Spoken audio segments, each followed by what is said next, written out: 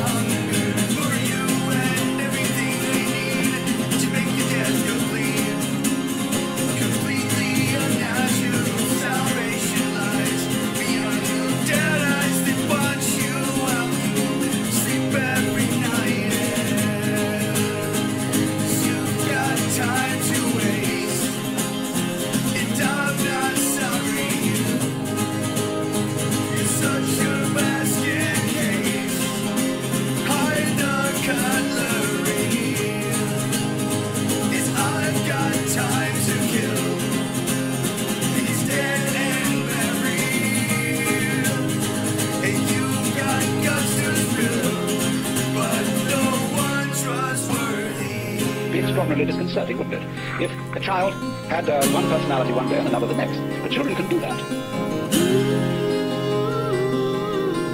Don't you remember as a child that you were many different personalities, depending on your environment, that you were one person at home with your parents?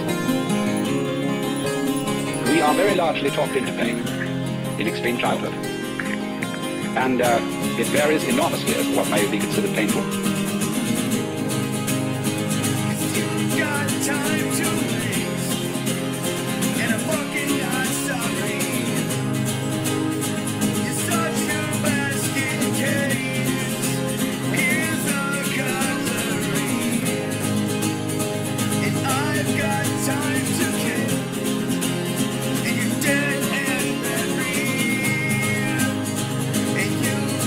guns to